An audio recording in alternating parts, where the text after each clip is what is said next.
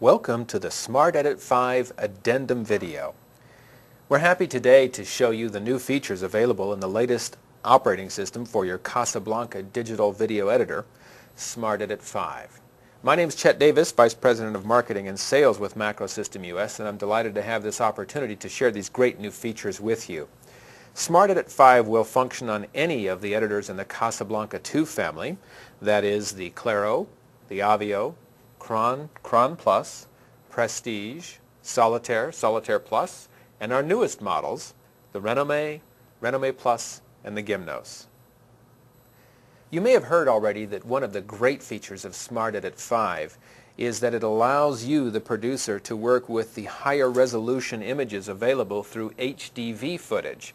These are special camcorders sold in the marketplace today, primarily manufactured by Sony, Canon, and JVC that provide us these higher resolution images on the same size DV cassettes.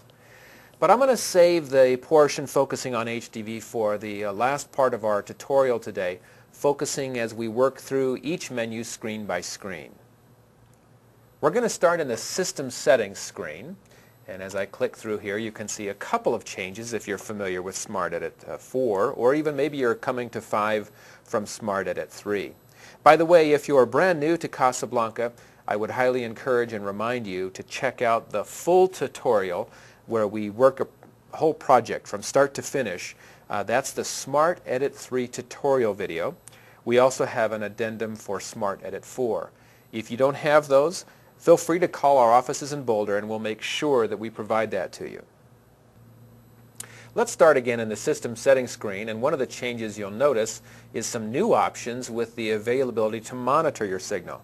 Now I want to point out right here, this has nothing to do how the end product is going to be received by your audience. This is entirely focused on how you will monitor, how you will watch and critically evaluate your work as you're building your project. The options are that we've always had the same here in terms of you can watch on a single video monitor by taking the audio and video out to a TV monitor or a video monitor.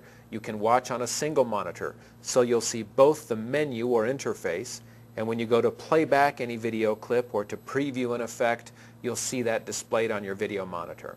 Okay?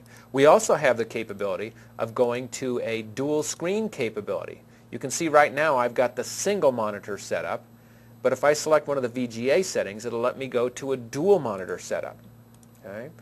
So I can select just a single VGA monitor or a dual monitor setup. Some people prefer the dual monitor because it gives you some more what folks call screen real estate. I have my menu playing back on the VGA monitor and all my video playing back on my video or TV monitor. It, it really boils down to your own preference, what you're most comfortable working with in your edit suite. Here's the brand new feature though. If I select VGA and go single monitor, I can have both the menu and video playback on a single video monitor. Okay, and here's what that would look like.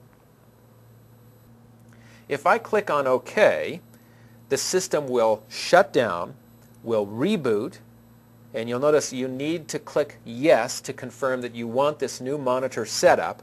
When you do that, you'll see that all of your video and your menus will show up on a single VGA monitor. Now some people prefer that because of the newer advances in the VGA, uh, LCD monitors, uh, plasma monitors.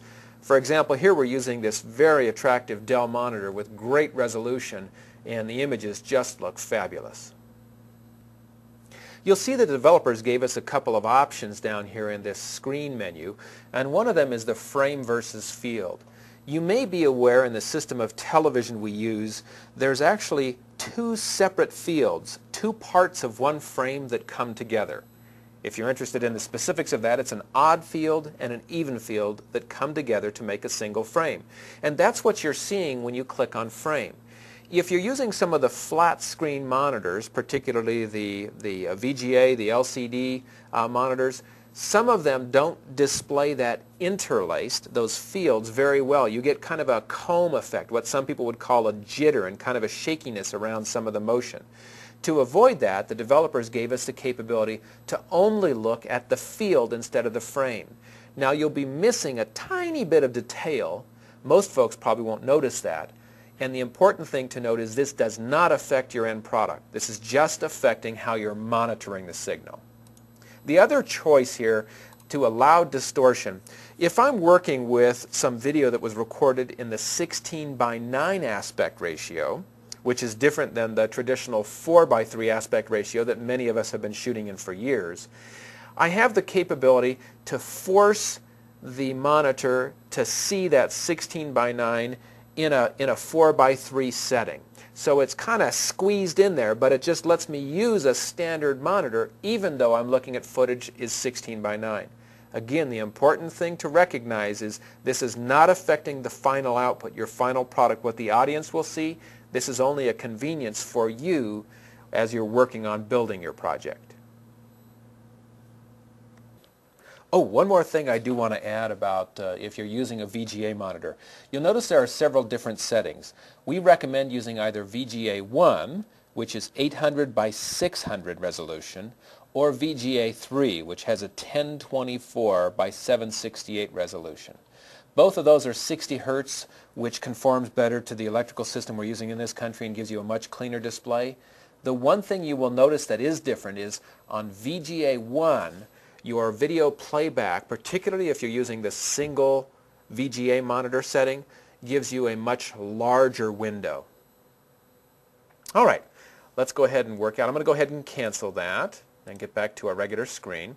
Um, the other choice that's notable in this one, and, and a number of customers have been asking for this modification as well, some of you have been using Smart Rendering, which is a great benefit in, in SmartEdit 4 operating system. But some people wanted a choice, and the developers came through on that request. Previously, when you rendered an effect using Smart Rendering, it would start rendering one effect, and then if you said, well, I want to add something else as well to the plate, well, it stopped working on that first effect and then begun working on the second effect. The developers gave us a choice now you can render the last inserted effect first, so it's done. Okay, That's the way it is in SmartEdit 4. Or if you prefer, render the last insert last. That way it'll start working on number one and finish number one. Then it will go to the second item you requested and finish that out. And then the third and so on and so on. So if you prefer your background rendering to be finished in the order that you're adding it, you want to select this setting here render last insert last. This button again, just like in SmartEdit 4, turns the background rendering or the smart rendering on and off. You must engage that when you first get your Casablanca for the smart rendering to be effective. There's also this new button down here. We've heard from a number of customers who are showing their finished presentations to large groups, primarily by the use of a, you know, one of the VGA or video projectors. And sometimes using these VGA projectors, you get an area that uh, a technician would call the overscan area. It's the area that we traditionally don't see on a TV monitor, but is actually present in the signal. Well, the effects in video editors are made not to go all the way to the edges of the overscan portion of the signal. This cover border gives you a nice, thin, tiny black border all the way around the edge of the screen where the effects end. It just makes a nice finished presentation. This is particularly useful, again, if you're showing to large groups with a video projector or if you believe that your finished product will be seen on a computer monitor being played back in somebody's computer. All right, so this concludes the changes in the system settings screen. Let's go now into the project settings screen. And what I'm going to do is I'm going to come down here and select an empty project. Again, we'll cover this at the